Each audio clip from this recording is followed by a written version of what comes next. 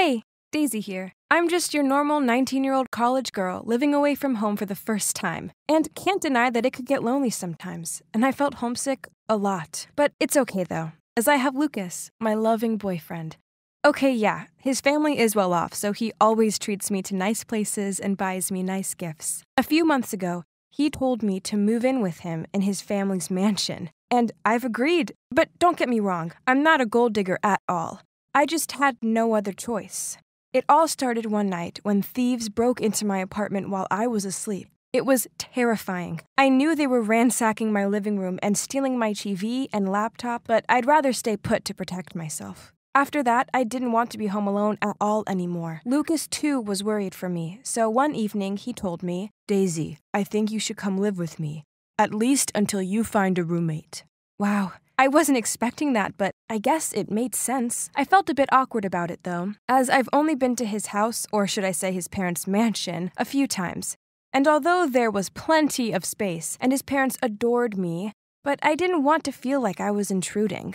Sensing my apprehension, he continued, I've explained the situation to my parents, and they're cool with it. I smiled at him and replied, Well, okay then, but it will just be temporary. Before I moved in with Lucas and his family, I felt very anxious. I wasn't sure if I'd be able to adapt to their lifestyle, and I didn't want to upset his parents. I worried a lot, but not once did I think my trouble would be with the maid. Yep, you heard me right. On my first day at the mansion, a cheerful woman immediately ran towards me and greeted me. Mrs. Harris introduced her to me. This is our maid, Sarah. She's been with us for years, so if you have any problem, just ask her. We're all family here. Make yourself comfortable. Then Sarah quickly grabbed my suitcase and smiled at me. Miss, let me help you with that. I'll show you to the room. It was so strange having someone else do stuff for me like this. I could just smile back and follow her upstairs. That made me feel so welcomed here, and how nice this maid was. Maybe we could be friends. But suddenly, a thump cuts off my thoughts. It was Sarah. She'd thrown my suitcase to the floor, then said, What on earth do you have in there? Carry it yourself. Your room is down the hallway to the left. And she walked off. What was that? Did I do something wrong? I quickly picked up my stuff in confusion. I didn't want to make an enemy of anyone here, especially not on my first day. So after I unpacked my stuff, I went down to the kitchen to help her prepare dinner. She was still so grumpy at me and told me to just get lost as I'd only be in her way. I remained persistent as I really wanted to resolve whatever her misunderstandings about me were. Eventually, she gave in and said, Fine, you want to help? Go dice up all of those onions. Yes, sure, but all of these? I asked her while staring at a basket full of onions. Are you going to help me or not? She said sharply. I replied, Okay, okay, don't worry, I'll do it. I tried starting up a convo with her, but she just rolled her eyes at me. Meanwhile, the onions were giving me hell. My eyes were burning and tears were streaming out. Ouch! When I finally finished, she stared at my swollen eyes and said, If you're that upset about living here, you could just leave. It's the onions, I told her. She smirked as she took them off me, then walked straight to the trash and threw them away, saying, You took too long. I didn't need it anymore. What? My face dropped, but I was far too exhausted to argue with her anyway. That's when Lucas and his parents came down for dinner. Sarah quickly set up the tables, then called me over with a bright smile as she pulled out a chair for me. Miss Campbell, please take a seat. Dinner is ready. Was she for real? I couldn't keep up with her constant change in personality. After dinner, I approached Sarah while she was doing the dishes. Look, I'm sorry, but did I do something to upset you? Yes, you sure did. You waltz around like you own the place, but you're nothing more than a parasite. And I won't let you worm your way into my home. Before I had time to process her words, she grabbed an expensive looking marble plate and smirked at me as she dropped it onto the ground. Then, with a piece of broken plate, she quickly slit her hand and yelled out loud, Miss, I'm so sorry for vexing you, but you shouldn't have broken this. It's Mr. Harris's favorite plate. Hearing the crashing sound, everyone quickly gathered in the kitchen and stared at me for answers. I immediately explained, No, it's not like that. But Mrs. Harris said, It's okay. Let's help Sarah first. Then she led her off to get the first aid kit. I grabbed Lucas's arm. Babe, I really didn't do that. He reassured me with a smile. Daisy, don't worry about it. You don't understand. Sarah did it on purpose and blamed me. He laughed as if he'd just heard something ridiculous, then said, No way! I bet it was just some sort of misunderstanding. Sarah is really nice. Don't worry, you two will get close in no time. Now let me clean up this mess. You go and relax. I felt frustrated and fed up, but I reluctantly went back to my room. This girl was definitely on to me. But for what reason? Over the following weeks, her vendetta against me continued. She washed my white clothes with colored ones, then intentionally threw away my stuff and made out she mistook it for trash while cleaning my room. She put extra hot chili flakes in my food, then rushed over with a glass of water when I started to choke, and so on. Worse still, Lucas and his parents wouldn't hear a bad word said against her. They were completely oblivious to how crazy she was. I didn't understand why she hated me so much. Was she jealous of me or something? All right then. If she wanted to play with me, then game on. So I decided to spy on her to catch her red handed and show everyone her true self. My chance to expose her finally arrived. I was passing her room and I saw her holding a watch. I recognized it. It was Mr. Harris's. She looked shifty as she placed it into her drawer and hid it underneath some of her clothes. Aha! Got her. I quickly ran to the garden to find Mrs. Harris and managed to persuade her to come with me to Sarah's room. Sarah stood by looking all innocent as Mrs. Harris checked her drawer, but the watch wasn't there, and instead we found it still intact on the vanity in the master bedroom. Huh? At that moment, Sarah suddenly bawled out, Ma'am, I would never steal from you. You know that. I've gone out of my way to please Miss Campbell here, but she's intent on making my life a misery. Oh my god. Those crocodile tears! Did she have no shame? I tried explaining myself to Mrs. Harris, but she held up her hand and told me she didn't want to hear it. I wanted to make amends, so the next morning, I prepared Mrs. Harris's favorite smoothie and breakfast for her. I set it up nicely on the dining table then went upstairs to get her, smirking at Sarah as she passed by. Mrs. Harris seemed happy with the gesture, but just an hour later, she said she didn't feel well. She was clutching her stomach as she glared at me and blamed me for poisoning her food. What? How frustrating! And Lucas wasn't even home for me to talk to. So I went to the kitchen to check the expiration date of everything I'd used. But I swear it was all fresh. I even went through the trash to check the used milk carton. That's when I saw some sesame seeds in there. That's odd, as I knew Mrs. Harris was allergic to them, so we never had them in the house. It had to be Sarah. She must have poisoned the breakfast with them when I was out of the room. Later that day, Mrs. Harris was feeling better, so I went to see her and told her that I was leaving, on one condition. Then I persuaded her to come into my room and hide in my closet.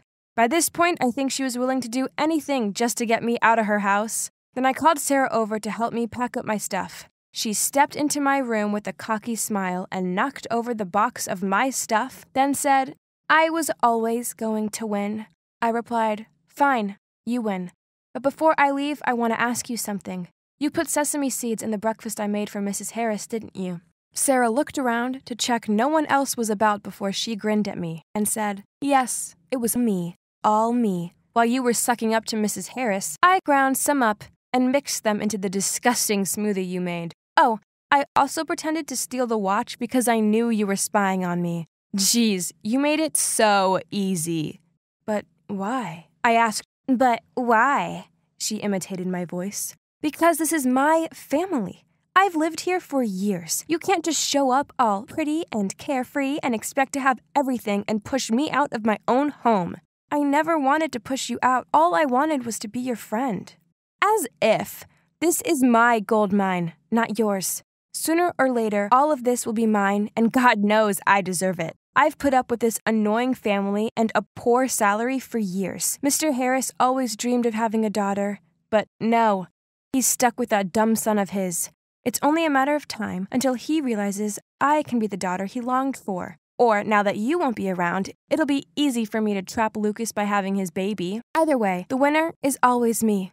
Suddenly, the wardrobe doors burst open, and out emerged Mrs. Harris looking furious. She pulled Sarah's hair and dragged her out of the room. Wow, who knew the mild mannered Mrs. Harris could be so kick ass? I guess everyone has a hidden side. Anyway, this proved my innocence, and Sarah was kicked out right on the spot. Then Mrs. Harris apologized to me and insisted that I should keep staying with them. I thanked her for the offer, but politely declined. As I felt ready to leave and move in with my friend, I was just relieved that she'd learned the truth and that Sarah had gone once and for all. So, Lucas and I are still together and are very happy. Yes, it was annoying he didn't believe me at first, but he's such a sweet and trusting guy that he'd never expect someone could be capable of such horrible things. But hey, that's just one of the many reasons why I love him.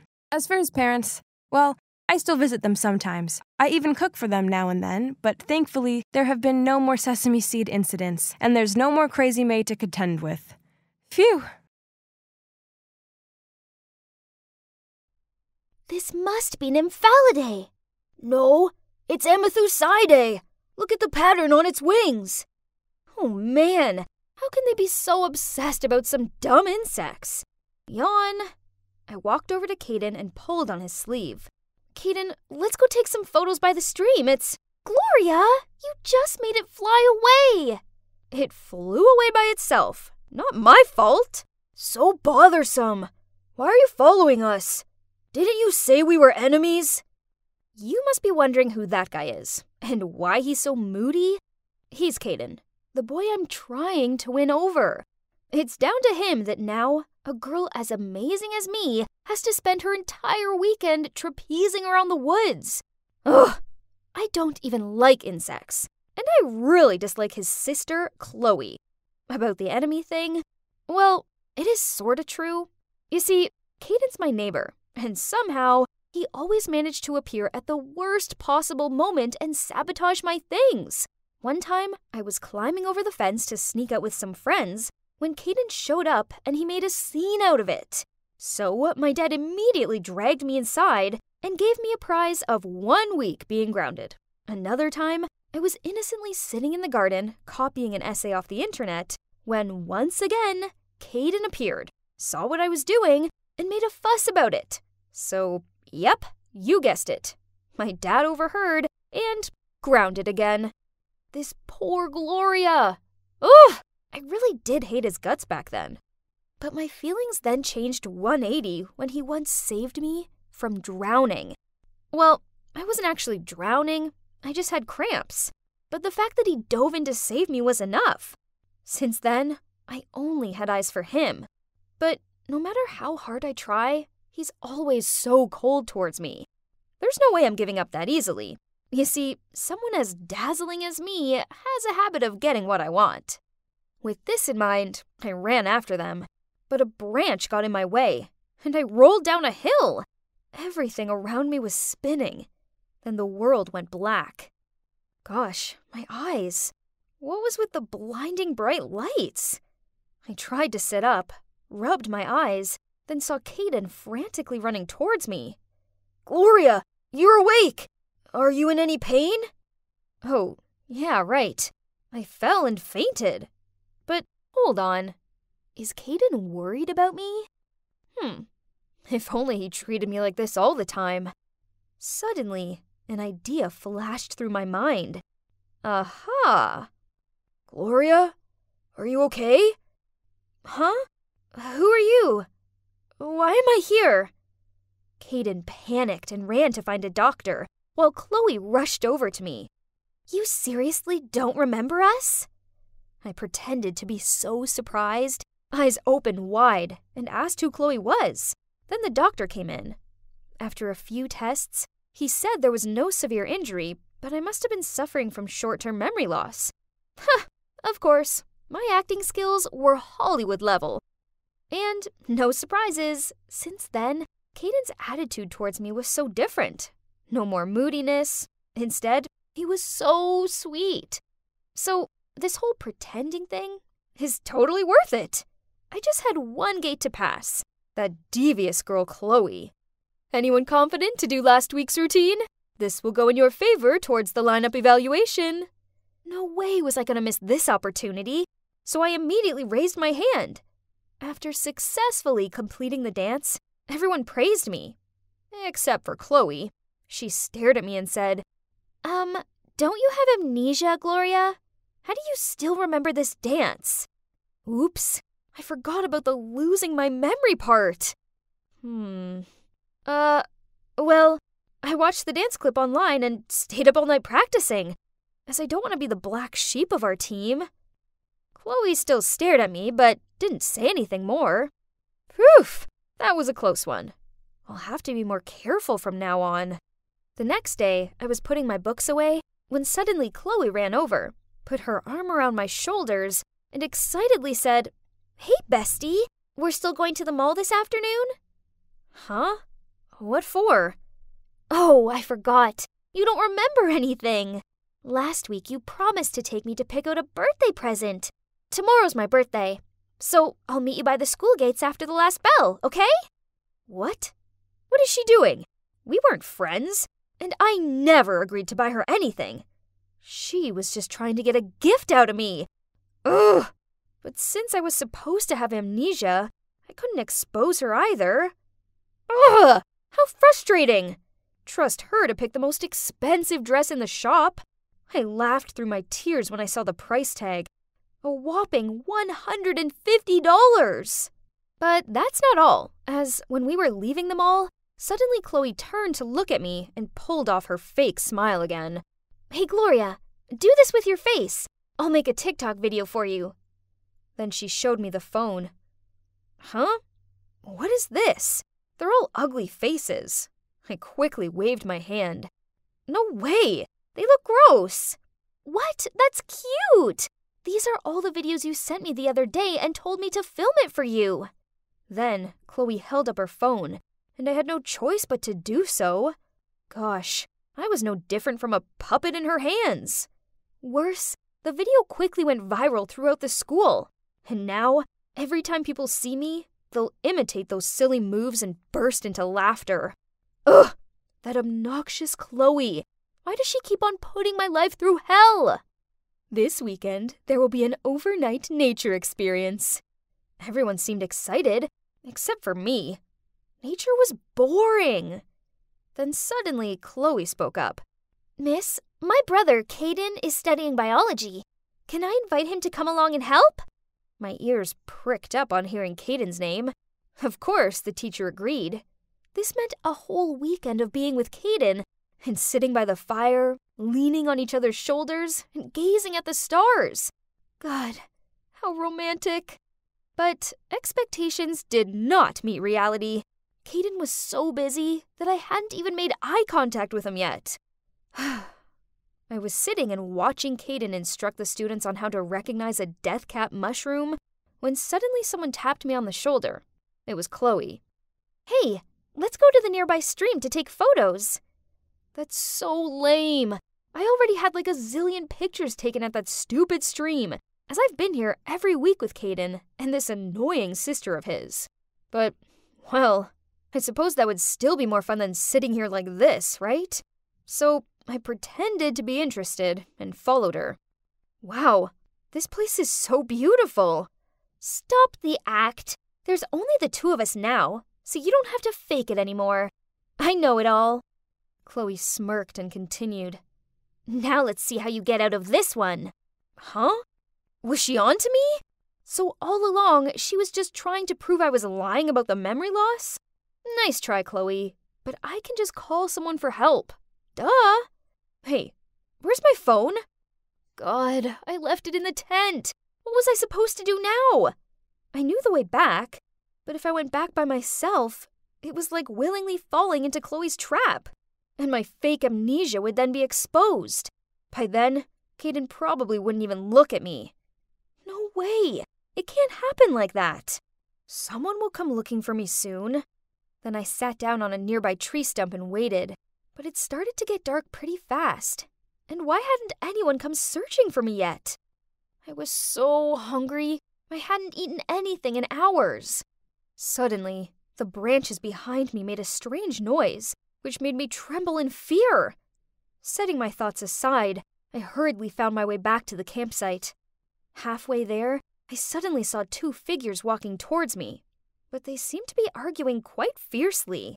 Do you know how dangerous it can be in the forest at night? What if something happened to Gloria?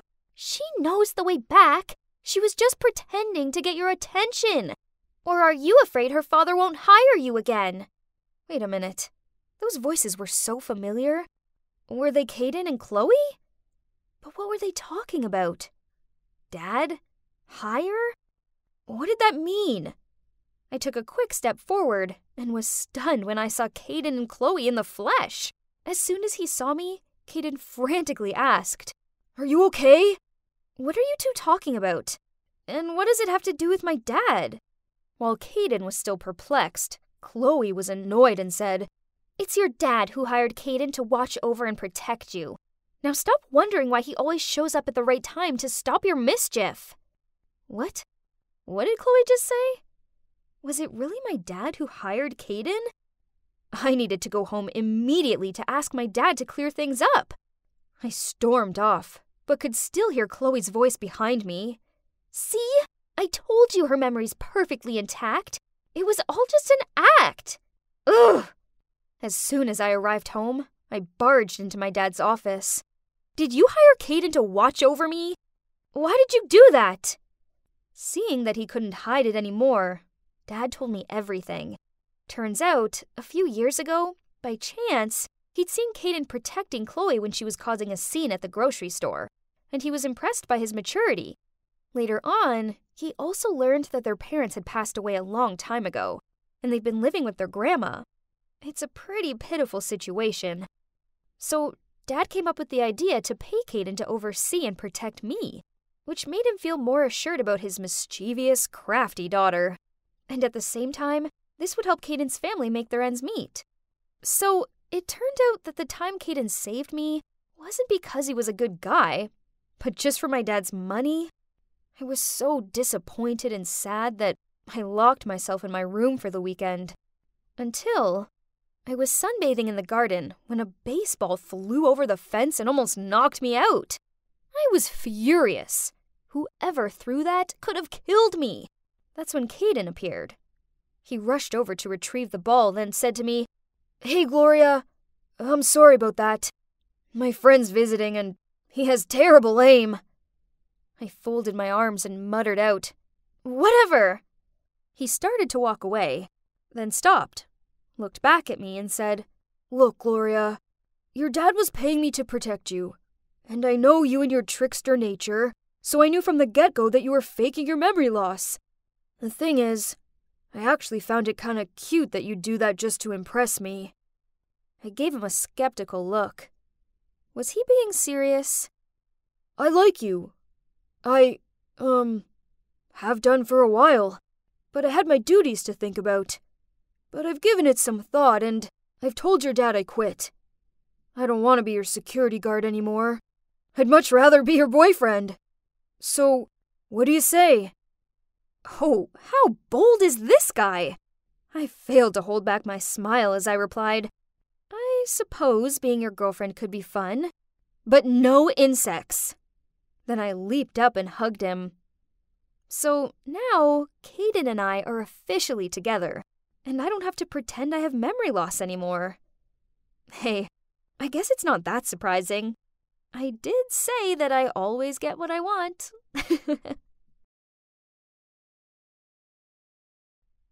yeah, here's another load of bills to add to the pile. Oh, hey, I'm Zoe. A recent graduate turned office worker with a lousy wage. I could barely afford to pay for food and rent, let alone think about my college debt. It wouldn't matter so much if it was just me, as I could live off of noodle soup. But I also had Birdie to think about, my little sister. Oh, she's back from school. Zoe, I found Daddy today! Huh? I looked at her with a wry smile. Actually, this was nothing new. You see, our parents died when Birdie was just a toddler, so now she longed to have parents just like her friends did. She often said to me, Zoe, you're like my mummy, but Clara and Polly have daddies too, and I want one. She was so innocent that whenever she saw a friendly looking man on the street, she'd ask me, Is that my daddy? come on, come here. How was school today? Daddy is very handsome and he lives in a big house. Come on, I'll take you to him. Oh, my lord. This wasn't a house. It was a mansion. Confused, I was about to question Birdie on this, but she started ringing the bell repeatedly. Before I could stop her, someone who appeared to be the butler came out and happily let us inside without questioning anything.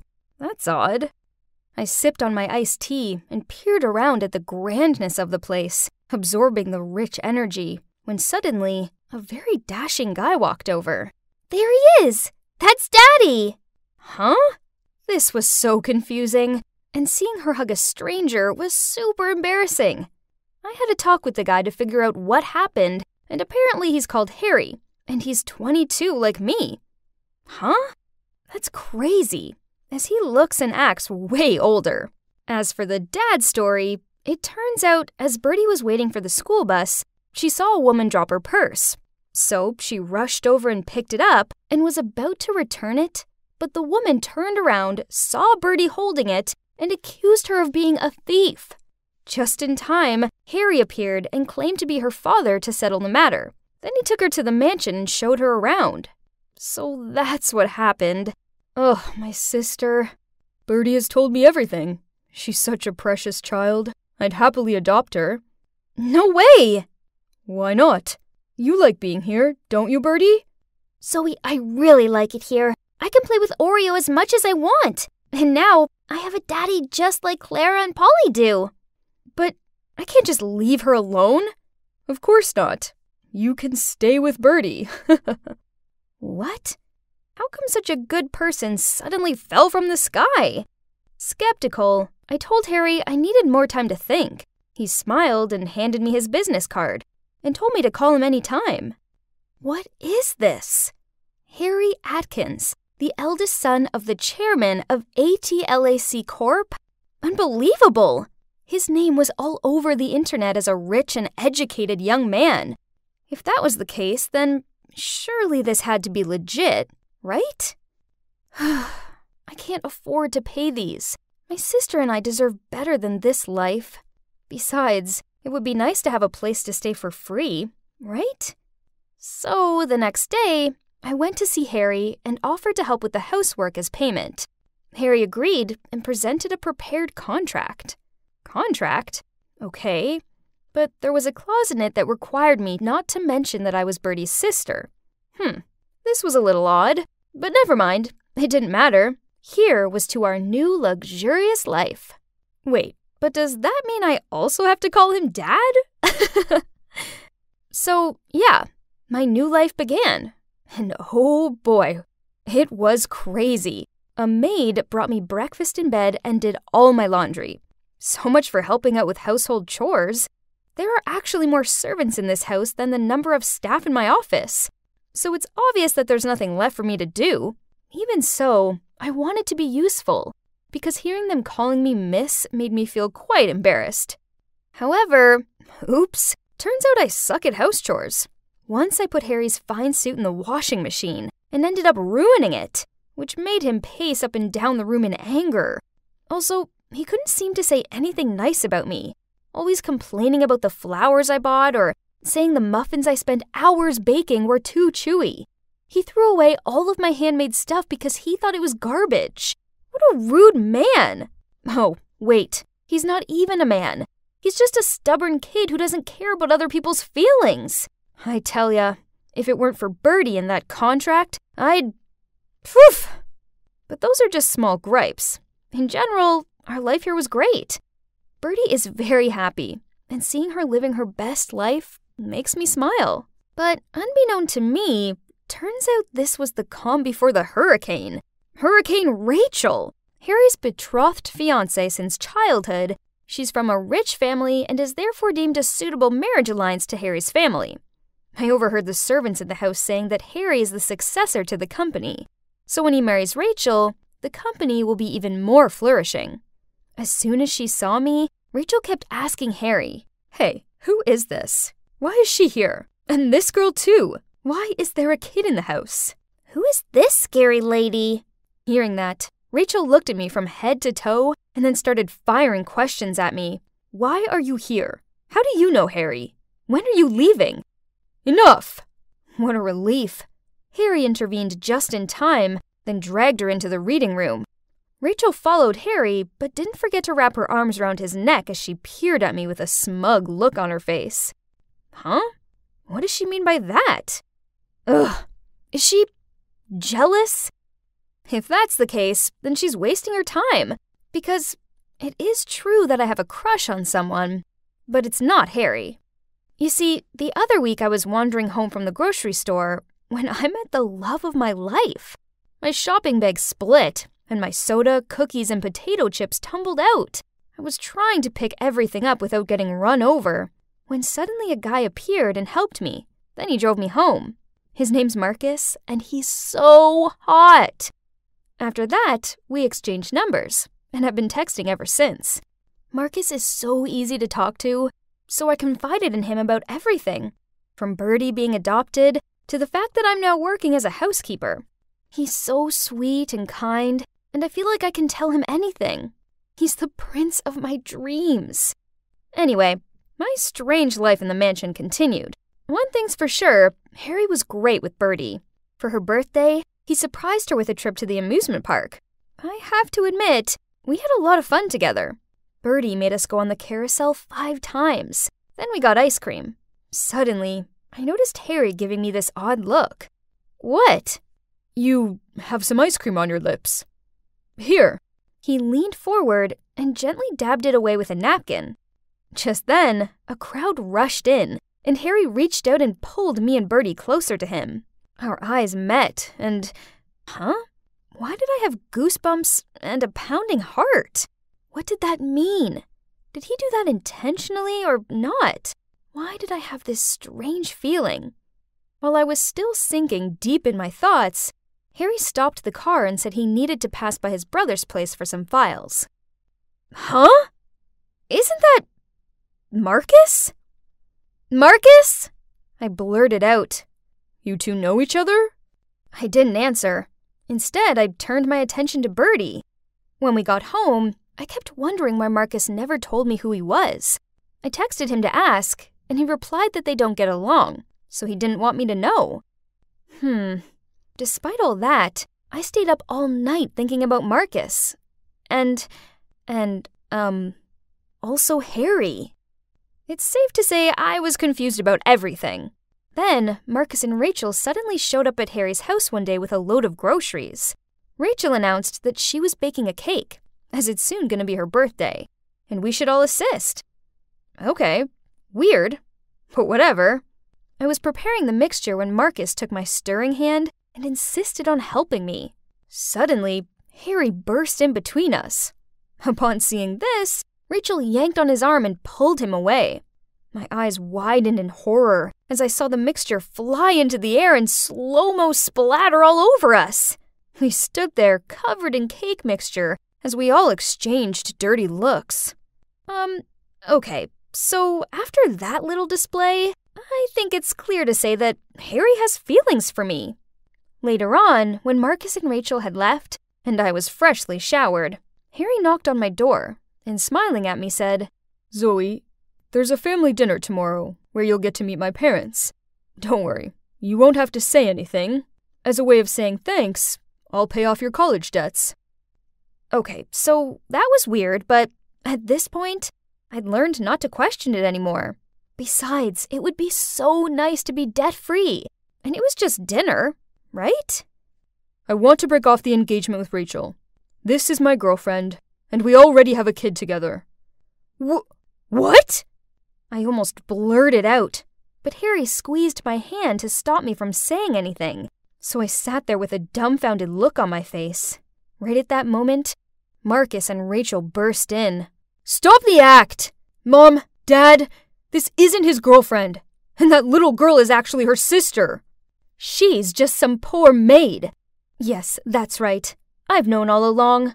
I'm the one who told Marcus to pretend to like you to get proof. Wh- what is all this? Mom, Dad, I don't think a liar like him should be the heir of your company. I hope you rethink your decision. I didn't understand. What's going on here? Girlfriend? My child who? The heir of what? I just knew one thing only that I was fooled by both my crush and Harry. I felt like such an idiot. So I quickly grabbed Birdie, packed up all my stuff, then ran out of that mansion immediately. Poor innocent Birdie seemed so confused. She kept asking where her daddy was and why she couldn't stay with him. I took what was left of our savings to rent a small apartment for both of us. Life went back to normal. Final demand letters and all. This was our reality.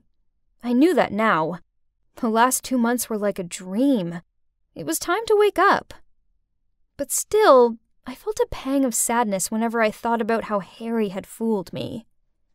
I was snooping around online and saw an article about how Marcus had taken over the company, only to end up bankrupt due to his poor decision making. As for Harry, well, he'd founded his own startup, and it seemed to be doing pretty well. But then, one sunny day, I was on my way to pick up Birdie from school when a familiar person walked alongside me. Hey, it's a nice day, isn't it? Harry? What do you want? Look, I admit that at first I was just using you to get out of my engagement with Rachel. But then I. I. I want you and Birdie in my life. I love you, Zoe. Please come home with me. Admit it. Come on. You took my necklace, didn't you? Mindy looked at us and shook her head. She was sweating. Well, there are only three of us in this house, and if Andy didn't take it, then obviously it was you. Seriously, Cass, you got to believe me, I didn't take it. But clearly she was lying, because when I rummaged through her bag, Cass's necklace was right there. Cass told her to get out of her house, and Mindy burst into tears. Poor Mindy. I really wanted to stop Cass, but she seriously hates people touching her stuff, so I just kept quiet. You see, Cass and I are pretty much joint at the hip. We've always lived in the same neighborhood, so we grew up together and shared everything. Well, almost everything. Except one little secret that would probably ruin our friendship forever if she found out about it. Auntie, what are you doing? I started to stammer. Uh, um, uh, um, this is so cute. Honestly, I'm so upset about Mindy. I can't believe she'd do something like that. I smiled, not knowing what to say. I mean, it was me who'd exposed her. Suddenly, I felt so guilty. Right at that moment, we got to the checkout. Cass took everything out of the cart to give to the cashier. Hang on, she exclaimed. What is this? This item has the barcode ripped off. The cashier made a fuss for a while and even called the manager. Cass and I stood there for ages trying to figure out what was going on. Cass even started crying, thinking she'd be accused of shoplifting. After about 30 minutes, the store manager came and told us we could leave. They kept the items that had no barcodes and sent us on our way. Phew, that was close. Mm, what? What do you mean? Oh, nothing. I'm just relieved that we didn't get into any trouble. Just so you know, though, that wasn't the first time we'd got ourselves into an awkward situation while out shopping. Sometimes it was the torn barcodes, sometimes the tags were missing, then the security alarm would always go off at the door, and all of these situations weren't just coincidences. Okay, I gotta be honest here. The thing is, I have a habit of pilfering.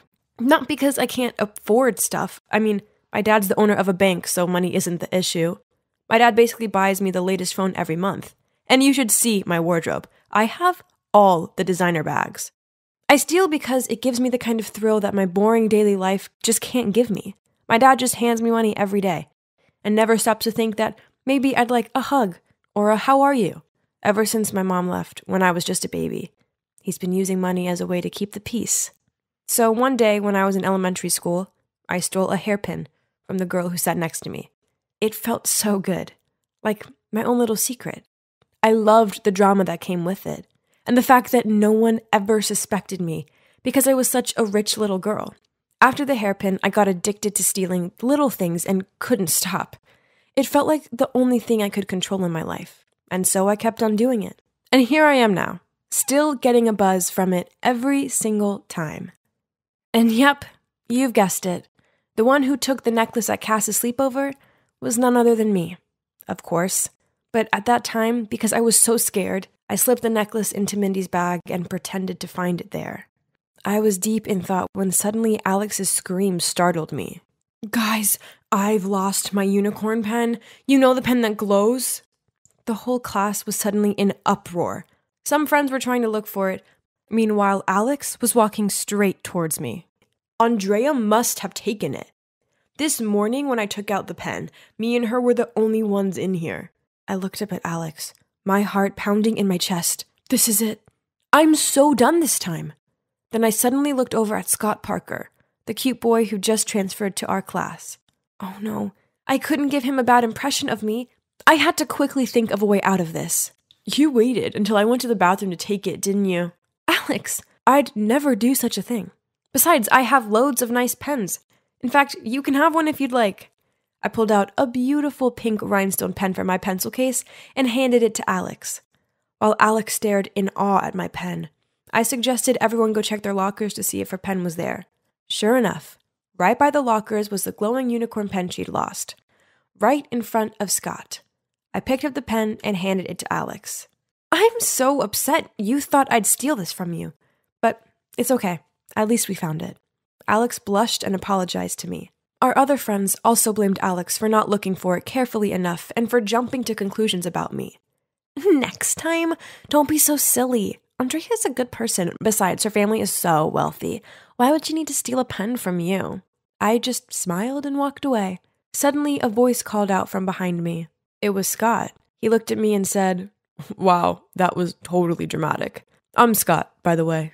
You're Andrea, right? Um, Sorry if this is a bit forward, but here's my number. Excuse me? Am I dreaming? Of course, I texted him as soon as I got home. He said he was so impressed with how I'd handled being blamed for the whole thing. Soon we were chatting every day, and eventually he asked me to be his girlfriend. I was so happy. But there was just one small problem. Ever since we'd started dating, I felt really ashamed about my bad habit of stealing things. I was determined to give it up, but it wasn't going to be easy. One day, Scott came to pick me up and asked if I wanted to go to the bookstore. Bookstore? No, I don't want to go there. Can we go somewhere else? Please? Seeing me panic like that, Scott looked puzzled. Then he suggested we go to his place to watch a movie, which I was fine with. Hopefully, there would be no temptations for stealing there. A middle aged woman opened the door for us at Scott's place. Oh, this is Sandra, our maid. Hi, Sandra. I'm Andrea. But instead of saying hi back, Sandra just stared at me in a seriously creepy way. It actually sent shivers down my spine. After watching the movie, Scott and his mom invited me to stay for dinner. Scott's mother, Mrs. Doris Parker, was really sweet, and we had some interesting chats. While waiting for dessert, I got up to go to the bathroom. But as I stepped out there, I almost bumped into Sandra. She was just standing there staring at me again. Uh, sorry, she didn't say anything, but just kept staring at me in this weird way. Oh my gosh, why was she looking at me like that? The next morning at school, Scott told me his mother had just lost a valuable ring. She had a jewelry tray next to the bathroom sink, and after washing her hands, she'd forgotten to put her ring on. After dinner, the ring was no longer there. I comforted Scott, then made an excuse to go to the ladies' room. I needed to seriously think about this. Honestly, I'd tried my best to not get the urge to steal at Scott's place. But when I'd seen Doris's beautiful ring, no, I had to find a way to return it. No one could find out about this. And I had sworn to myself that I would never let this happen again. Hello, San. Huh? Where's Sandra? Oh, she was fired. Mrs. Parker said Sandra had stolen her jewelry. Anyway, may I help you? Oh, no. I had to return this ring immediately. Poor Sandra. Scott came down for me and said he'd make dinner. I glanced through the window to find Doris was having tea in the garden. This was my chance. I snuck up to her room, quietly tiptoed in, and headed towards her jewelry box. Suddenly, the light came on. Tell me what on earth are you doing here? I quickly turned around, dropping the ring to the floor. M- Mindy? Why are you here? I'm Scott's cousin. So it was you who stole the ring. I can't believe my cousin is dating you. Hearing the noise, Scott and his mom ran upstairs while I was still dumbfounded and speechless. It was you who stole Cass's necklace, too, wasn't it? She won't even speak to me because of you. I'm so sorry. I know it's not okay, but I couldn't stop myself. I've been feeling so guilty, so that's why I'm returning it. I was still kneeling on the ground when a hand reached out to me and helped me stand up. I'll handle this. Come on, let's have a chat outside, shall we? Turns out Mrs. Parker is a therapist. She could see I had a problem and offered to help me. I told her how guilty I'd been feeling about Sandra getting fired and asked Doris if she could call her for me so I could apologize. Thirty minutes later, Sandra arrived. As soon as Doris saw her, she apologized and offered her the job back.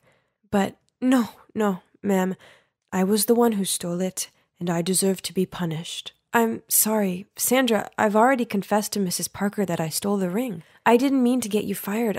I just couldn't help it. You didn't do anything wrong. I, it was me. I was greedy. She is innocent. What on earth is going on? Obviously, I was the thief, so why was she defending me? Why are you doing this? Do we know each other, Sandra? And that's when the truth came pouring out. Sandra was my mom. Yeah, I don't know how this is possible either. So, according to her words, she'd had a huge fight with my dad when I was a baby, and she'd fled to another city where she found a job working for Scott's family. When they moved to Seattle, she came with them. Even though she was nervous about returning back to where me and my dad were, she'd carried so much guilt about leaving us, and never in a million years did she expect to bump into me at Scott's house. I was so shocked I couldn't even speak. I'd imagined this moment my whole life, and now here I was, standing face to face with her, and she'd even taken the blame for me. I couldn't believe it. Mom, I'm so sorry that I stole the ring. I, I can't believe you're really here. Sweetie, you don't need to apologize. I'm the one who will be apologizing for the rest of my life. Abandoning my daughter like that. What kind of mom am I?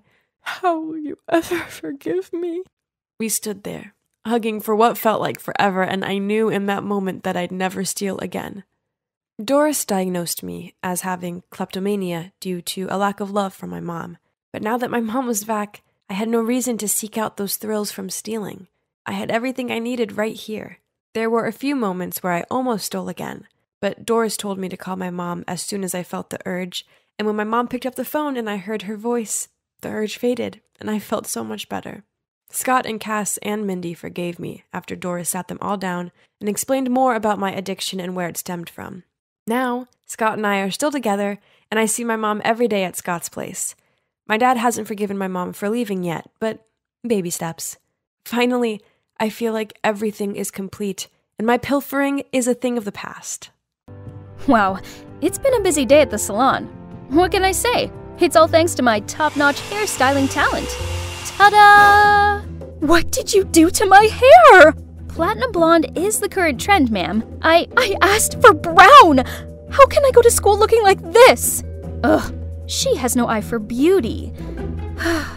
but. Oh no. This dumb machine? At least it's not completely burned. Were you dosing off while cutting my hair? Give us our money back now! Money? I've only worked here for a week. How am I supposed to pay them back? Ask my parents? No way. I, the beautiful Olivia, had declared in front of them that I hated school and would build my own career through my passion for hairstyling, not with any of those boring books. So, I left my hometown and got a job at this fancy hair salon in the big city. I would prove to my parents that I could actually earn money with my talent. Ugh! But now my boss was going berserk at me. Oh, dearie me. There's no need to make a fuss over such a measly amount of money. I shall pay for it on her behalf. I turned around and wow, it was this graceful looking middle aged woman. Her outfit, hairstyle, and manners all screamed elegance and luxury. Pretty girl, I can see that you have a keen eye for beauty. The only thing you're missing is an experienced mentor's guidance, and I happen to know someone. I can't believe it! Mr. Fullington, the world's number one hairstylist was gonna be my mentor. Of course, it's all thanks to this awesome lady. Oh, wait, Mom. I should call her Mom now, as she's just adopted me. She must have taken a liking to me, seeing how determined I was, pursuing my passion despite all hardship. She and her husband are millionaires who couldn't have children, so yeah, they decided to take me in. Man, this is the best thing to happen to me ever! Olivia, school isn't the only way to success. With your talent, the road can be much shorter. My foster parents are so kind. Just look at this room. I feel like a princess. Just look at this gigantic bed, satin sheets, and walk in closet. Better still, they even arranged for a makeup artist and a stylist to spend all day helping me look fabulous.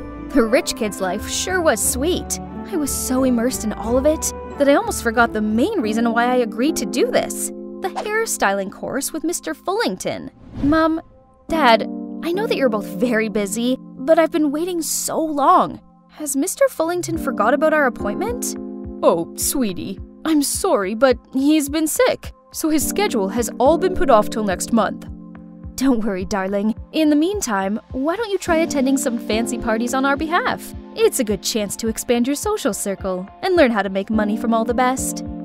Oh, that sounds pretty good. If I could make lots of money, then my parents would have to take me seriously and stop their stupid go back to school demands. As soon as I arrived at the party, all these new friends gathered around and complimented on how beautiful I looked. The rich guys went crazy for me, too. I instantly became the center of attention. This one guy called Bruce introduced himself as the son of the CEO to the top media corporation in the US. Olivia, that exquisite face of yours was made for the big screen. You should play the leading role in our new movie. Oh, acting? I'd never thought about it before. Hmm, Walking down the red carpet and posing in front of hundreds of cameras did sound appealing. It's worth a try, right? I was still stunned at Bruce's offer when I felt something cool on my finger. Oh my gosh, a sparkly red diamond ring? William, heir to the GeoGems Limited. Pleasure to meet you, Olivia. Please consider this my greeting gift. And this continued all evening until I couldn't hold any more stuff flowers from Justin, a jewelry set from Andrew, a perfume collection from Anthony, and this watch from. Geez, I couldn't remember anymore. I was trying to slip away when a handsome guy blocked me. You're stunning, Olivia. Can I see you tomorrow? A date? I didn't even know him. No, no. What a pity. I'm meeting my old friends at West High tomorrow. Sorry, it's not that I'm picky or anything, but dating can't be that easy, right? Phew, finally home. What an eventful evening. Just then, I got a call from Minnie, my best friend. Minnie told me that some mean girls at school were spreading rumors that I stole money from my parents, then packed up and ran away. Okay then, let them tittle tattle. Tomorrow, I'll show those meanies who's the real deal. Yay! It's so nice to see Minnie again. We immediately chatted nonstop about all kinds of things. Then suddenly, the hyenas appeared with the same sarcastic tone as usual. Wow, counterfeit goods are so well made these days. You know, your supposedly Birkin bag is extremely rare. There's only five of those on Earth, right? Busted! How much do supercar hourly rentals and bodyguards cost nowadays, little Miss Show Off? Minnie was going to defend me, but I stopped her. No need to waste time arguing with these people. Hmm. I then grasped Minnie's hand to leave, but look, Olivia! I looked up.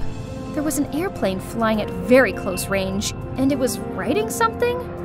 O L I V. The white smoke actually spelled out my name! I've only seen this in movies. I gasped in shock as the plane landed, and stepping out of the cockpit was the guy at the party last night, Nathan. Turns out, he was the youngest pilot in America and wanted to impress me with this grand gesture after being rejected yesterday. Flying in the sky is my passion. And, Olivia, I want to be your personal pilot, taking you wherever you want. Oh my goodness, I don't know what was better having a rich, handsome guy going out of his way to impress me, or seeing the astonished looks on my fake friends' faces. Such thrilling days like this should have made me happy, right? But sitting among this mountain of expensive gifts, I couldn't shake this uneasy feeling. Being the center of smitten eyes and receiving countless compliments and gifts was cool and all, but Minnie's words awakened me. Olivia, do you think they really are generous enough to give you all this without asking for anything in return? No, I shouldn't accept these pricey items. I was putting them all back in their boxes to return them when my foster mom walked in. Oh no, darling! Returning gifts is considered very insulting in our society.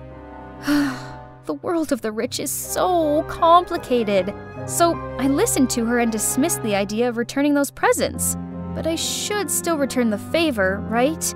So I agreed to meet some of them. The first person must be the one who impressed me the most Nathan the pilot. His airplane hangar was where we had our first date. I couldn't find anything bad about Nathan, but we just didn't click. He kept on rambling about planes, which model each was, how hard it was for him to get them, blah, blah, blah. While I had no interest in any of this. The next guy, William, was even worse. He not only invited me, but also dozens of other beautiful girls. He even gave each girl a gemstone from his collection. A true player, so obviously a skip. Bruce was easier to talk to, but I soon realized that he had a problem. This set of glassware was custom made by the most skillful craftsman in Switzerland. It's yours if you like. Oh, wait. I'll have someone bring them over later. Look at this beautiful painting. Wouldn't it be perfect in your bedroom? Ah, but it's too big for you to carry home. I'll send it over later. What about my leading role in the movie you mentioned? Huh, I almost forgot. But, Olivia, acting is not as easy as you think. Besides, the entertainment industry is really toxic. Please just be my princess, okay? See? He kept promising me the world and then nothing. What a boastful, stingy liar! I didn't like any of these guys, so I must return their expensive gifts. But as soon as I carried the boxes out of the room, my foster mom stopped me. My silly Olivia, why are you so concerned about this? To them, these things are merely a drop in the ocean. But if you feel uncomfortable, I'll keep them out of sight for you. Giving them back will bring shame to our family. And you don't want that, do you? Alright, that seemed like the best solution. My foster parents had been so nice to me, I shouldn't cause them any trouble. But a few days later, I discovered that they had secretly used my phone to ask Bruce for more presents. He thought I was angry, so he promised me a huge surprise tomorrow. It's weird. Why did they do that? They're as rich as Bruce's family, aren't they? I asked them why, and turned out my foster parents just wanted to test Bruce, as he seemed to be the most persistent in pursuing me, but had not shown his sincerity. Early next morning, I received a call from Bruce, saying that he'd sent someone over with a luxurious car and reminded me about our date tonight. Wait, an entire car? That's too much this time! I was about to tell him to keep it when my foster father rushed in, saying that my parents were seriously ill. Oh gosh. I quickly hung up the phone and immediately went back to my hometown. Dear God, please protect my parents. Surprisingly, my mom opened the door looking perfectly fine, and there was dad as healthy as can be watching TV.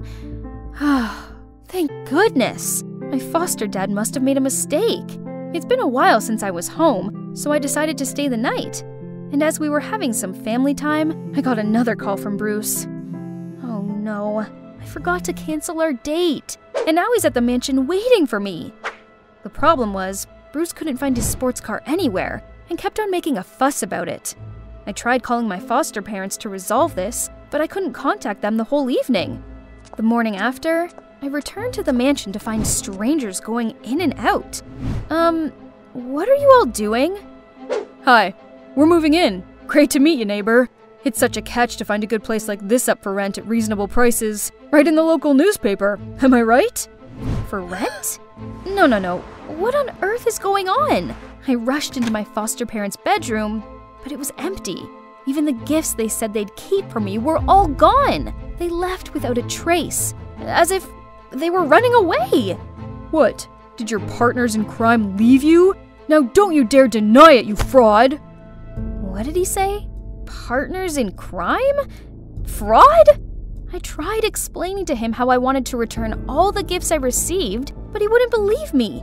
He threatened to call the cops if he didn't get his car back. Oh no, no way that's gonna happen. All I could do was beg Bruce to give me some time. This is the home of our town's famous sheriff. He's the only person who could help me, but all I got was, I'm sorry, but I'm retired. You're gonna have to ask someone else. What to do now? I was freaking out when, out of nowhere, No need for my dad. This is a piece of cake. I can give you a hand. I turned around to see a guy leaning on the door with a cold, arrogant look and his arms crossed. Who is this guy? Can he really help me? We'll see. Wow, Alan really took the risk and invested a lot in this a sports car, a mansion, expensive trips, and even this huge event. I have to admit, he looks quite handsome being all dressed up. Oh, I forgot to tell you, Alan, Yep, the sheriff's son is playing the rich heir of a big corporation chasing after a beautiful young lady, which is me. However, I didn't expect things would turn out so real. Alan's pursuit of me even made it on the local news. You guys must be curious how someone who's not a millionaire did this. Well, Alan convinced Bruce to fund our plan. He was hesitant at first, but he soon realized that this was the only way to catch the frauds and get his stuff back, so reluctantly he agreed. Alan is indeed a genius, and his well thought out strategy quickly got the fish hooked. We were making headlines everywhere, and I finally received a text from my so called foster mom. At first, she was just asking how I was doing and talked about how busy they were with overseas projects. Until today, Olivia, how's it going with that mysterious millionaire boyfriend of yours? He seems willing to give you anything. So you will consider him, won't you, darling? As expected, these money hungry crooks wouldn't let it slide once they heard millionaire. So I replied to her that my rich man was treating me well and wanted to throw an extravagant feast this weekend to officially announce our relationship. And I hoped my parents could put off their business trip and come join us. Tonight was the night. Gosh, I was so nervous, as my mom didn't reply to that message of mine. Will they show up, or did they sense something was off? While I was super nervous, Alan came to me and held my hand real tight. Don't worry, Olivia. Everything will work out as planned. My, my. What is this feeling? It's undeniable that I always feel so safe being with Alan. The party finally began, Alan proposed to me with this rare, precious Serendibite gem on a ring, which is one of the only three existing in the whole world. Everyone started buzzing. Alan's acting was so perfect, from his eye contact to the words he said, that I couldn't help but feel butterflies in my stomach. I. I do. When the party was over and all the guests left, I received a call from my foster mom telling me to go to the back gate. As predicted, they offered to keep the engagement ring for me. Drop the act, frauds! The two were still processing what was happening when the cops barged in and arrested them. It worked! Can't believe I've successfully tricked these notorious scammers. what about my car? My Bugatti? Where is it? Oh, I almost forgot the main sponsor for this perfect plan. Without him, we definitely couldn't pull this off. Our stingy millionaire Bruce Dillon. I bet there hasn't been a single day gone by that he didn't think about his missing gifts, huh? that reminds me. This sparkling, precious ring, too. I quickly took it off, passed it to Alan, and told him to give it back to Bruce. But the minute the Serendibite ring left my finger, Alan put on something else. Oh my god, another ring?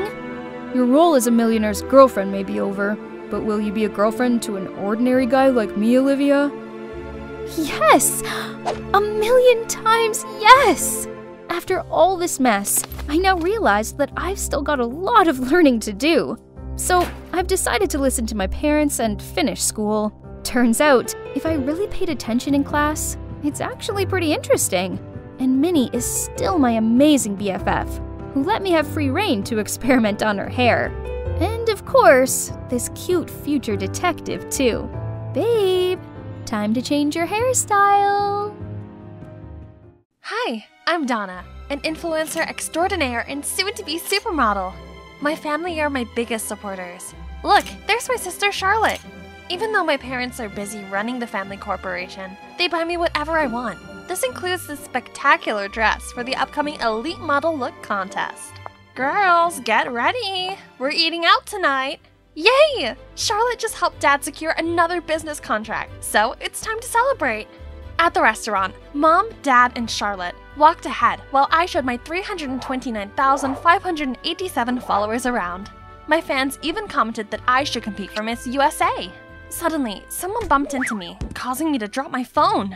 Oh no, my live stream's ended, and it's all his fault! Idiot! You ruined my live stream! Now my fans will think I'm rude and unfollow me. Are you walking with your eyes closed? Sorry, I didn't mean to. Let me make it up for you. Donna the Fabulous? Okay, you've just got one more follower. What a jinx! He better stay out of my sight. But as soon as I reached our table, I saw his face again. Why is he here? Donna, this is Matthew, our new finance director. Oh, how important. But not as much as live streaming, right? Who does he think he is? Charlotte even laughed at his stupid joke. Speaking of which, Donna, you're going to study business from now on. Time to stop those modeling, live streaming things. What? But why? You've always supported my dreams before. But Dad just ignored me and chatted with Matthew. Dad was being so unreasonable. Everything was fine until that Matthew guy showed up. Charlotte comforted me and suggested we attend business classes for me while I prepared for the modeling contest. What a brilliant idea! Oh, I love my amazing quick witted sister. I then put all of my focus into practicing for the contest. But Matthew kept on disturbing me with his nonsense. He even sent me a picture of wedding rings saying, Are these okay? Think they'll match us? I frantically called him to ask him what all the gibberish was about. Hasn't your dad told you yet? We're getting engaged and taking charge of the company together. What on earth is this guy saying? Since when was I expected to marry some guy I barely knew and take over a business I had no interest in? Dad should have some explanation for this. Upon arriving home, I confronted Dad, but he just hmm. sighed and said he was planning on telling me himself. But you can't just dictate my career and who I marry. Donna, I only want the best for you. But Dad, Donna didn't even attend her business classes and is still indulging in her nonsense fashion club. How can you expect her to handle the company? Oh no, why is she telling him that? Was she trying to help me? She's right, Dad. I have no interest in business at all. I can't. If that's the case, then you can start as vice president and get some hands on experience. And you, Charlotte, you'll be Donna's personal assistant and support her. No! This is not how you want it to turn out. Dad used to love us both, but now he didn't even listen. Ugh, yes, Charlotte, my savior. She would surely know what to do. I can't believe it. I've tried so hard to prove myself, only to have everything given to a simple minded fool like you. S- simple minded? That's what you really think of me? Well, I guess I just gotta take my new position to show her how simple minded I am then. So the next morning, I dolled up and strutted to the company lobby under a different name Miss Vice President. Ha! Look at those gawking eyes wishing they could escape from the boring suits. Matthew was there too, and was he laughing? Suddenly, my heel got tangled up in my dress and I tripped over. What a disaster! Matthew offered me his hand and asked if I was okay. Who needs his help? And all the silly chatters? Just wait and see. And by that, I mean now. Matthew introduced me to the company's core members and announced some new strategic goals for the company ROI, margin, accounts. Jeez, what kind of language is he speaking? After what seemed like an eternity, he asked if anyone wanted to add anything. Aha! I, of course, couldn't miss a chance to show my leadership. This office is seriously lacking some colors. Violet blinds would be a good start, and some motivational pictures really help boost productivity. Oh, you mean putting up motivational quotes? Oh, please, no. Motivation comes from the all time fashion greats. You know, Bella Hadid, Tyra Banks, Kendall Jenner. Everyone gawped at me while Charlotte furiously signaled me to stop. Everyone here is so boring. Ah, alright, I'll stop then. My first day was then followed by tedious meetings and schedules. Everyone was talking gibberish and making me sign a bunch of papers. But every cloud has a silver lining, and for a foodie like me, that's dinner meetings. These people really know how to enjoy life, don't they? But before I could even have my first bite, they all started asking me about proposal this and project that. Fortunately, Matthew was there to save the day. Honestly, he seems pretty good at his job, and he's quite attractive when focused. Oh, yeah, work. I gotta contribute my own talents at work too. So, the next day, I put the sign on my door, then sat back and watched my favorite fashion show. Ooh, look at those dazzling dresses! One day, I'd be walking the runway in a gown like that, not sitting here surrounded by confusing numbers and papers. Later, when I opened the door, an endless line of people was already waiting for me. Jeez, can't this company with all these brilliant brains function without me? Right then, Charlotte came dragging me away. What happened? Oh gosh, I didn't know that my computer was connected to the meeting room's projector, so everyone had been watching Project Runway with me. Matthew was in the conference room too. Why didn't he fix it? Okay, everyone. We should thank our cute boss for giving us a lot of ideas for our problems. He finished the meeting and led them out. But Charlotte was still standing there fuming at me. Cute? There is nothing cute about it. Don't get any wrong ideas that he likes you. Wait for me, Maddie.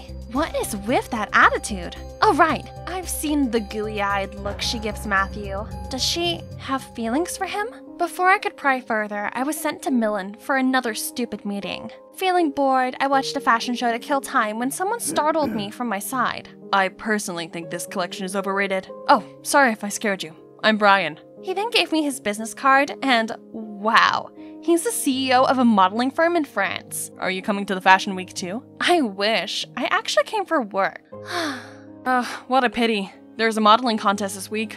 I can tell a true beauty like you is destined for the crown. I missed so many chances to be on the runway. If I make it this time, maybe mom and dad will see how serious I am about modeling. This is too amazing of an offer to refuse. Brian, I'm coming with you. At the show, I made sure my phone was off so I could truly immerse myself in all the glamour of the newest fall collection. Brian then kept his word and took me to the audition. I was super nervous at first, but unexpectedly, everyone else looked so amateur. Meanwhile, I strutted like a pro, confident that this time I would get an offer. But for now, reality was calling. As soon as I turned on my phone, a zillion missed calls from Dad and Matthew popped up. This screamed trouble, so I quickly got Brian's contacts and returned home. There, Charlotte went all banshee shrieking mode on me, accusing me of being irresponsible and selfish for skipping the important meeting. Dad, if you don't do something about this, Donna will destroy the company you've worked so hard to build. That's right. But instead of yelling at her, you should have been there to help out. I'm so disappointed in you, Charlotte. Oh god. Charlotte's face turned pale immediately. Dad should be scolding me, not her.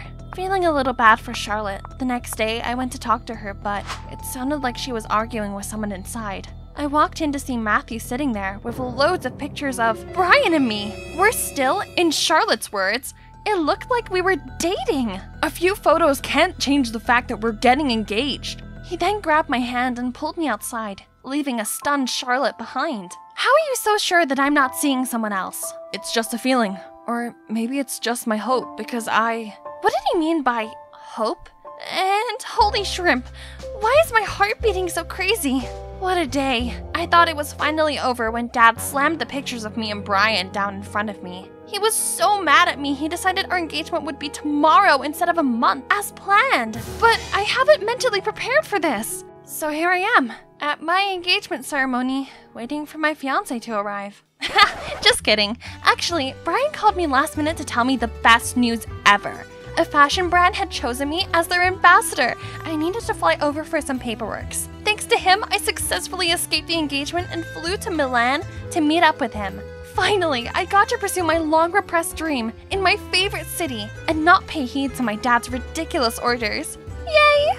As I woke up the next morning, I eagerly reached for my phone to call Brian, but, huh? Where was it? I looked at the nightstand, but my passport, my wallet, and all of my stuff had disappeared. I dashed to the reception asking for Brian's room, but they all shook their heads saying there was no one by that name staying there. Frantic, I used their computer and checked the website for his phone number, but it kept saying error. Then I look up any information about the contest, but found zilch. How could he do this to me? I trusted him. Now I'm in a foreign country, all alone, and with no money. What am I gonna do? I can't just call dad to come get me. And neither can I call Charlotte. There's only one person I could contact right now. So I called Matthew, and he flew over immediately. We were walking along the Navigli Canal to get some dinner before heading back. I thought he would be furious right now because I ran away from our engagement, but he was just quiet the whole time.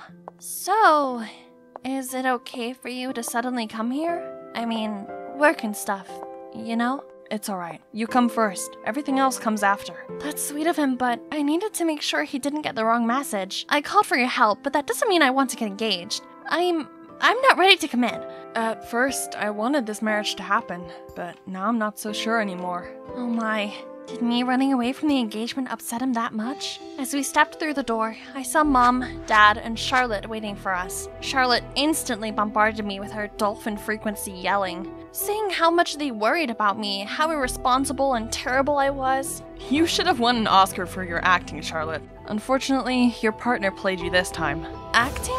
And what partner? Turns out Charlotte was the one behind all of this. She hired Brian from the beginning to make me look bad in my parents' eyes. She also made sure my engagement with Matthew didn't go as planned. Everything played out just as she'd wanted, but she didn't think Brian's greed would get the best of him. He called Matthew saying he was holding me for ransom, and during the call, the idiot fraud accidentally brought up Charlotte. We were all too shook to even speak when Charlotte burst out crying. You're right, it was me all along. She's never done anything useful, yet got everything meant for me. Mom, Dad, if you needed someone to take care of the company and marry Maddie, why her? Why not me?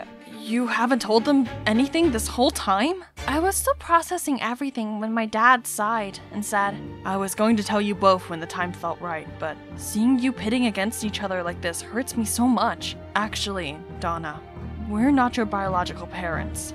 Turns out, Dad was my parents' private lawyer, and the company belonged to my real parents, not to Dad.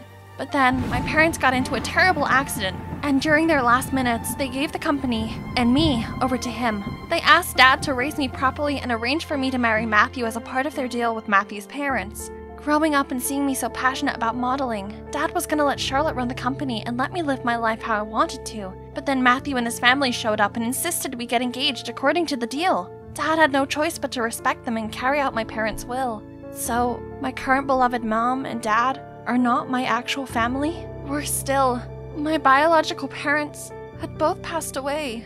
Donna, we hope you understand. Though we're not related, we have always loved you as our daughter. This is very hard for us too. I looked at Mom and Dad, the ones who had always loved and cared for me. Mom, Dad, just like you two, I'm sure my parents would want me to do what makes me happy. Though I am the lawful heiress of the company, I can only do harm to it. So I hope you understand and let Charlotte take over it. She's a better suit than me. That's right. You cannot force someone into doing something they don't like. Neither can you force someone into love. Woohoo! No more boring office job. Instead, I've put all my energy into elite model look. And here I am today. You've got this, Donna. I confidently strutted down the runway with mom, dad, and Charlotte cheering from the audience. And when I finished my part, I joined my family and nervously waited for the MC to announce the chosen ones. Samantha Friske, Amelia Davis, and Donna Rossi! Yes! I've made it! I've been waiting for this day for so long! Suddenly, I spotted Matthew coming towards us. Congratulations, Donna. I knew you'd get it. Thank you for coming. I know love cannot be forced, nor should I rush it, but whenever you're ready, Donna, will you go out with me? How about now? Do you know what it's like to be a pampered princess?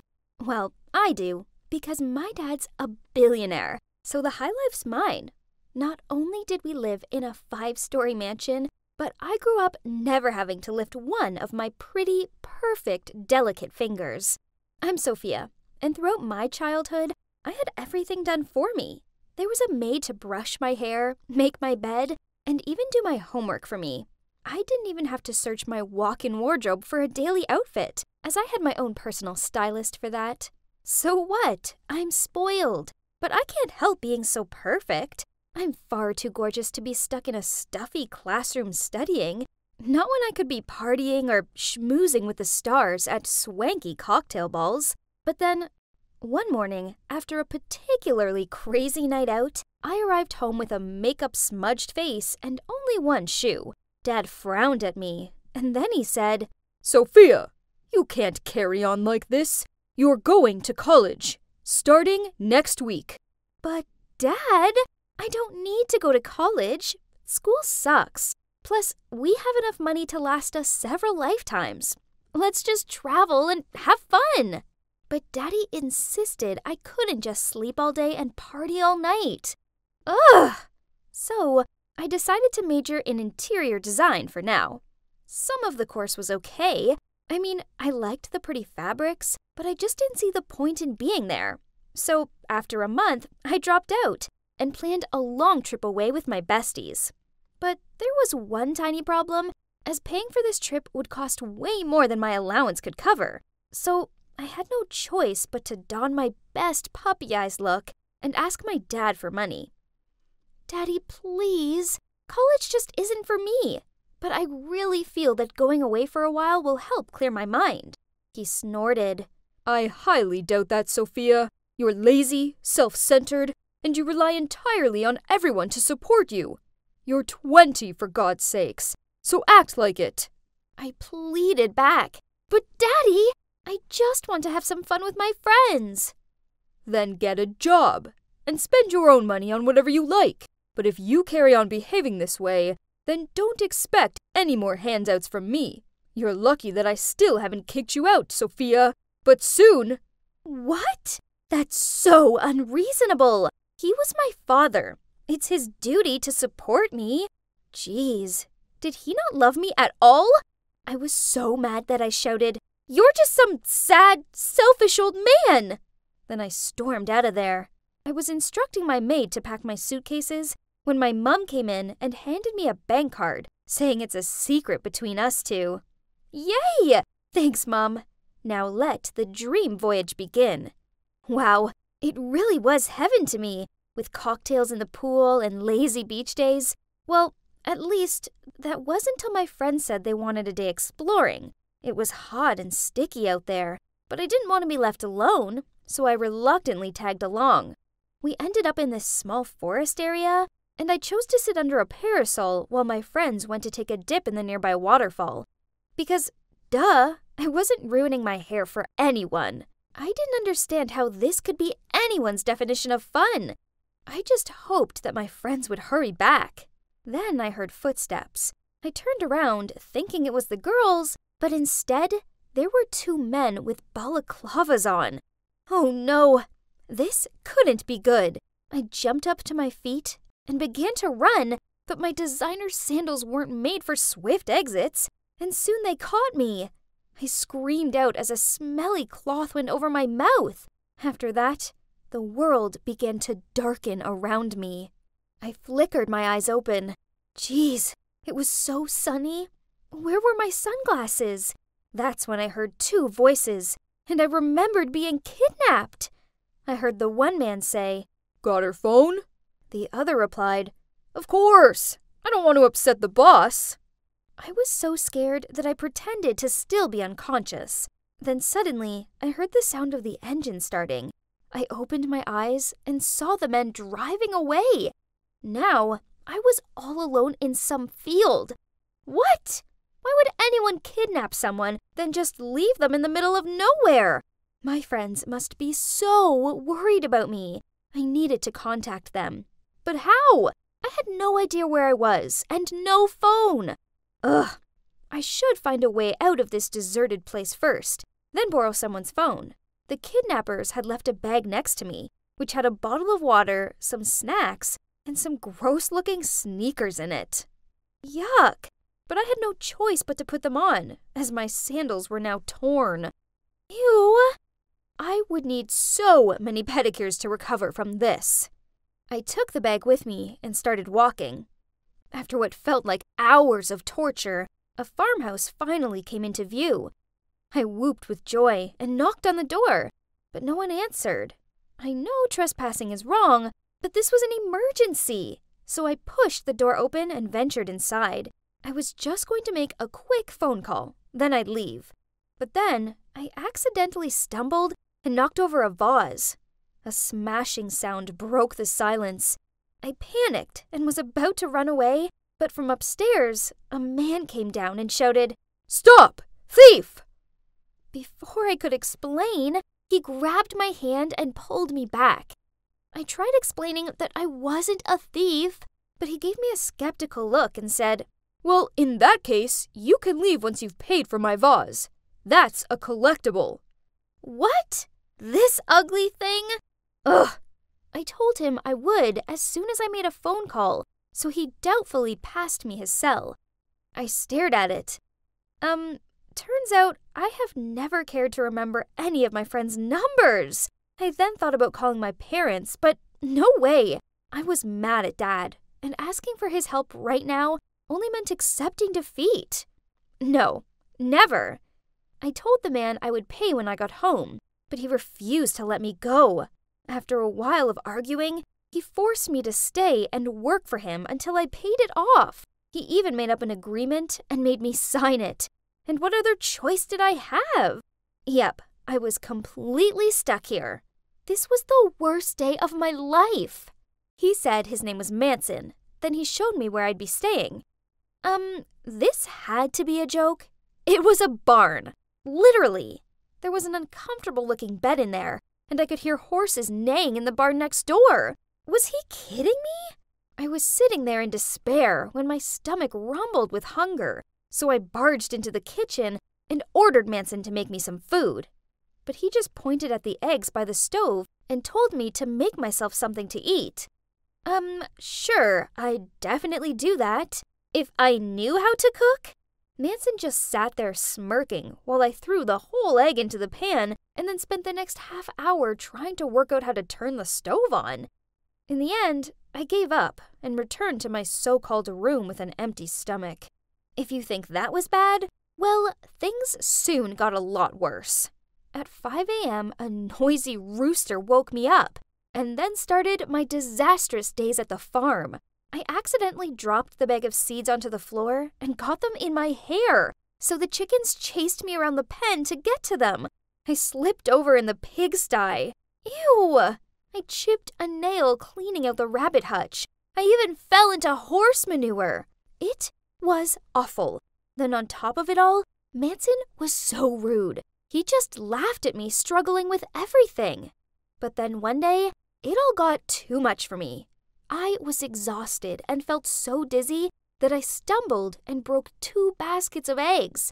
It really hurt so bad, and I was even in tears, thinking Manson would be mad.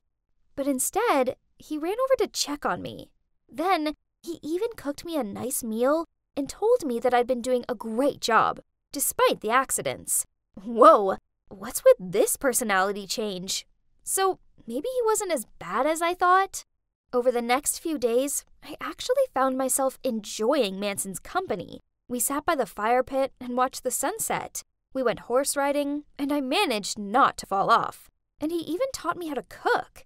That's when I realized two things. Firstly, I'd been a brat. I was lazy, selfish, and I took everything for granted. But now I realized that with hard work came reward. And secondly, I realized that I liked Manson. A lot. So I decided to do something nice for him. I gave the barn a makeover. It was just simple things, really. I put a rug down, added some plants, hung up a few pictures and fairy lights. Then I dragged Manson over to have a look. He peered around the barn, then smiled. Sophia, this is so lovely. Then he awkwardly looked down at his feet. Look, I need to tell you something. Um, it's your dad. He hired those men to kidnap you, then paid me to let you stay here. I laughed over that ridiculous joke, but then he continued. Your dad wanted you to change your outlook on life and understand the value of money. He only has your best interest at heart. Wait, was this all just a setup? With teary eyes, I looked straight at Manson and said, I was going to tell you that I have feelings for you, but I suppose you don't feel the same. I need to go. Please tell my father to send someone to pick me up ASAP. Unless he's okay with me walking all the way back home without any phone or cash. Then I hurried out of there. He shouted after me, but I ignored him. I was so angry and upset.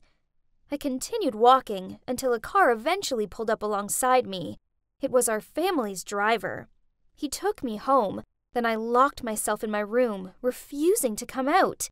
It took a few days for me to calm down enough to go confront my father, and when I did, well, I found myself running into his arms and telling him how sorry I was. He looked so shocked. I finally realized that my dad only did that because he loves me and he wanted me to see the true values of life. I told him I would resume my studies at college, but there was something else I needed to do first. I showed up at Manson's doorstep with some carrots for the horses and a new vase. On seeing him, he grinned, then gave me the biggest hug. Guys, life isn't all about designer clothes and expensive holidays. Sometimes a stinky farm full of even stinkier animals and a cute guy, well, that can be the best place in the world. As for the future, well, Manson and I are both taking it slow and seeing where it goes. I do have big plans for his farm, though. I'm helping him renovate the barns into holiday cottages so other people can sample the country life too. A part of me will always be a pampered princess, but as for the other part of me, well, it turns out she can make a mean egg bagel and outrun a pen full of chickens. Don't take life for granted. It doesn't matter how pretty and rich you are. Instead, there's far more to life than just that.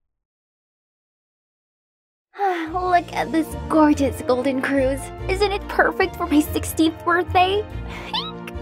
Here comes the most exciting part of tonight. Gifts, of course. All the guests lined up eager to hand me their presents.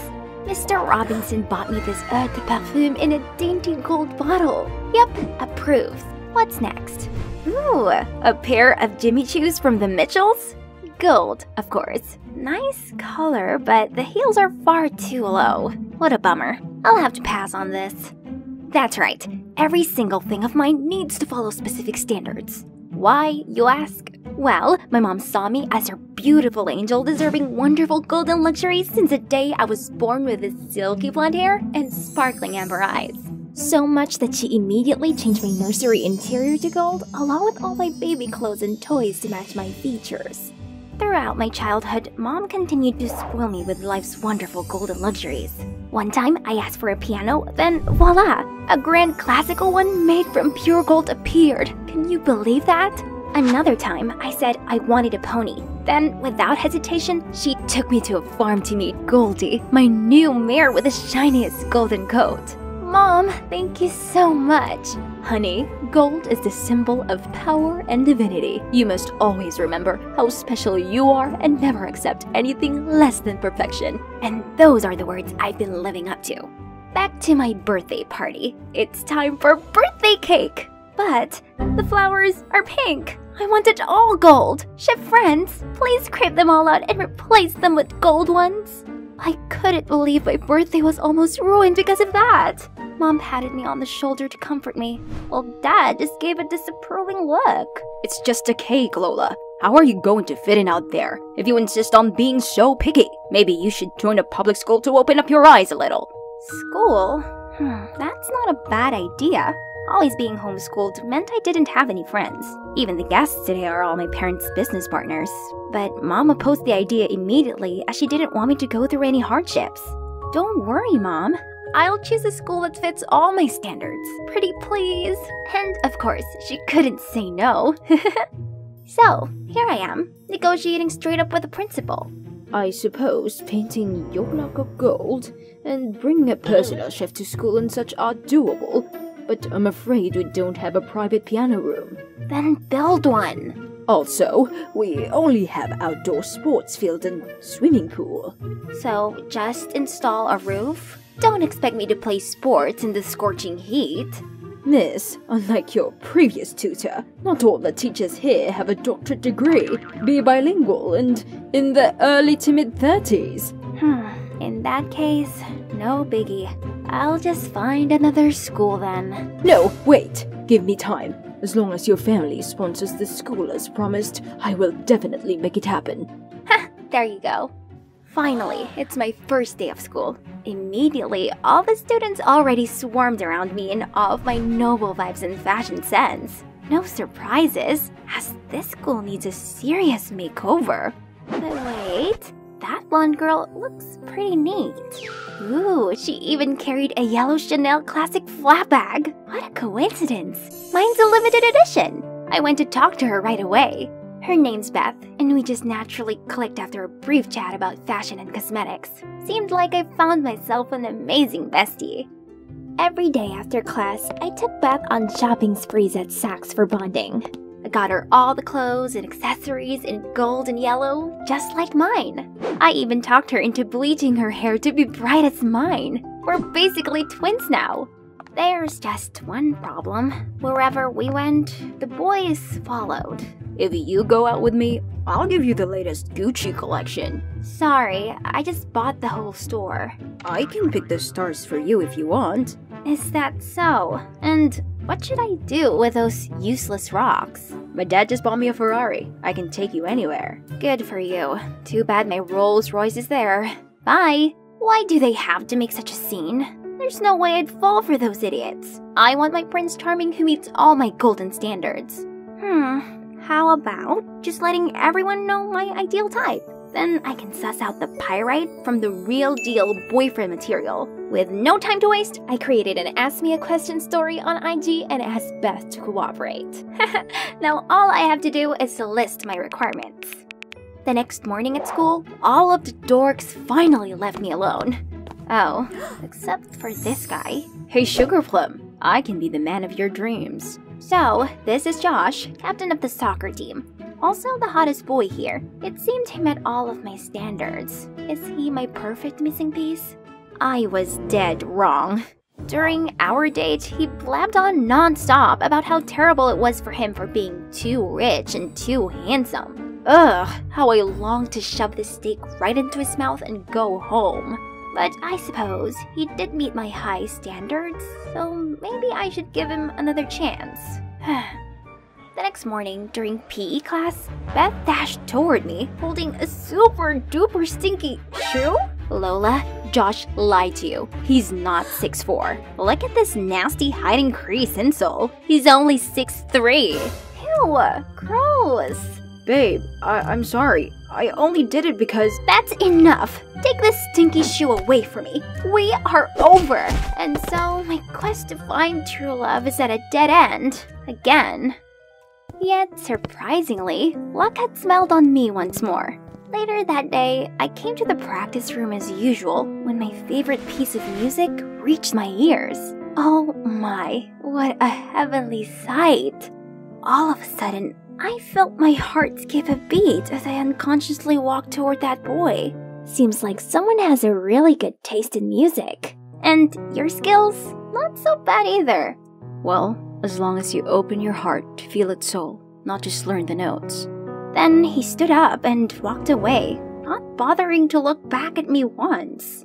That was a bit snobby, wasn't it? Yet strangely, I stood there dazed. But wait, who am I to swoon that easily? Let's see if he met my standards first. Beth helped me to find out more about him. Turns out he's Connor, the new transfer student who's trying out for the basketball team. So, I immediately went to Ken, the captain, and whispered in his ear, asking him to come up with an excuse to make Connor get a physical exam. At my personal doctor's office, of course. The result is finally in. Natural blonde, no baldness, check. 6'5, definitely without height increase insoles, check. White teeth, no cavities, check. Wow, it ticks all the boxes. Then I rushed to the principal's office asking him for Connor's school report, and it was impressive. He's always in the school's top two, actively takes part in extracurricular activities, and he even won a prize in the national basketball competition. Oh my god, he's perfect. But wait, there's one condition left. This should be easy. Just a little higher. Higher. Ah, there they are. But these girls were way too obsessed over his abs. Those are mine, okay? That's right. There's no doubt that Connor is my Mr. Right. After that, I shyly handed him a bottle of golden labeled mineral water and asked if he'd like to practice playing piano with me. My heart was thudding like crazy, but he just muttered, Sorry, but I already have a date. Then he went past me to Lily! What? That nerdy girl with zero social skills? There's no way I can lose to her. I immediately told the principal to switch all my classes to Connor so I could easily approach him. My amazing advisor Beth also helped me devise a super detailed step by step strategy. Soon, Connor will get over boring Lily and fall head over heels for me. First step scent attraction. Beth told me that Connor loves this no brand perfume, so I sprayed a bunch of it on and confidently walked into class. But why do people keep sneezing so much? Even Connor was also frowning and holding his nose. Hey Lola, you didn't shower this morning, did you? Spraying a whole bottle of cheap perfume won't help. And the whole class burst into laughter. Ugh, how humiliating. Okay, plan B. Beth suggested a grand confession. Great idea. So when school ended, the cheerleaders and I started a formation right in the middle of the entrance to ask Connor out. But before he could react, a girl suddenly lost her balance and dragged everyone down on top of me. Ouch! This time was sure to move him to tears. But when I was cheering for him, Connor somehow missed his shot and the ball flew straight at me, causing me to tumble face first into the armpit of this smelly guy. Yuck! Why did everything keep going wrong? Suddenly, I bumped into Josh? He grabbed my hand and started begging me to take him back. He said he tried all kinds of ways to grow taller and actually managed to reach 6'4 now, so I should stop pursuing Connor and become his princess instead. Jeez, I'm really not in the mood for this desperado. Let go of me! I then ran into Beth while leaving. She came to tell me that she figured out another way to make Connor mine. It seems like he's really into Lily. We have to separate them. So, I called Lily to a corner and told her as long as she stayed away from Connor, I would buy her whatever she wanted. You know, not everything can be bought. Connor isn't interested in you, so you'd better give up. You're just annoying him. What? I didn't expect quiet, nerdy Lily to say that to someone as lustrous as me. Lily's words had been bothering me all day. Was I wrong to continue pursuing Connor? Suddenly, someone ran past the window and splashed an entire bucket of paint onto Lily. I sat there baffled at what had just unfolded when Connor immediately took his jacket off and covered Lily up. You're behind this, aren't you? You've really crossed the line. Stay away from us. Wait, he thought I did that? It's true I didn't like Lily, but I just wanted her to stay away from him. Never wanted her to be covered in ghastly purple paint.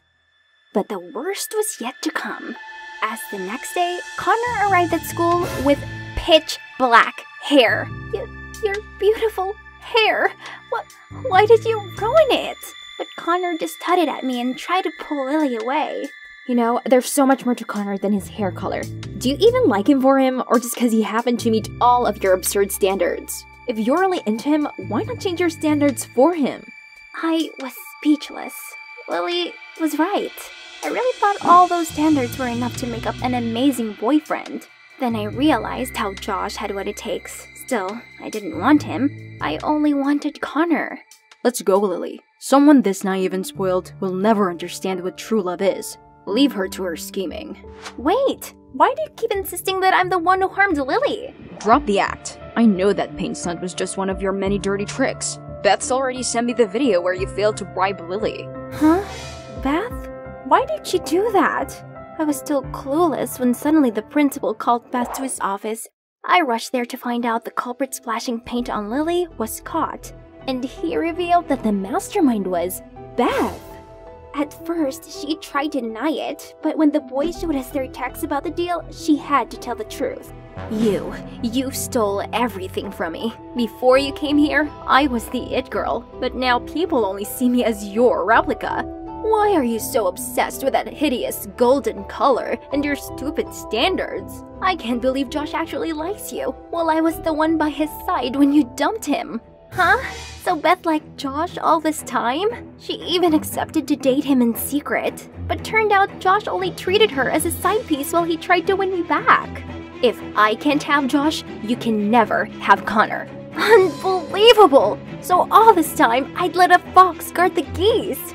I couldn't bear this place any longer, so I skipped class and went straight home. That night, on seeing how upset I was, Dad came to comfort me. I cried and told him all about my love life and friendship troubles. Honey, maybe it's time you saw others differently. Those standards don't mean anything. You should open your heart and allow yourself to see the good in people. Dad was right. I was so dead set on them that I couldn't see the true nature of the people around me. I chose Beth and Josh based on those standards, but both of them let me down. Meanwhile, Connor deliberately broke them, yet I couldn't shake him from my mind. The standards were like my music sheets. I played each note correctly, but I was so caught up in the practical side of it that I'd forgotten to embrace the soul. So the next morning, I went to apologize to Connor for the troubles I caused him and Lily. I just want you to know, I really like you, no matter what color your hair is. But may I ask you one question?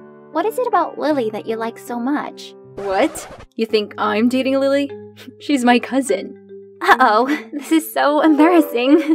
but wait, in that case, does that mean I still have a chance? Do you remember when you were 10, you participated in a children's piano contest? A gold necklace was stolen from the hotel you were staying at. Yeah, I just have a vague recollection about that incident. The suspect was a blonde boy, a female employee's son, but I noticed the necklace peeking through a man's pocket instead. Leave the boy alone! This man is the thief!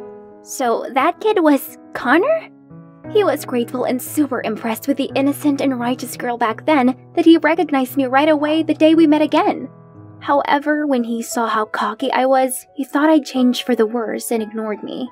Now I see the admirable girl I know is still there after all this time, so I wouldn't mind if we start getting to know each other anew. Really? Wish me luck this time, you guys.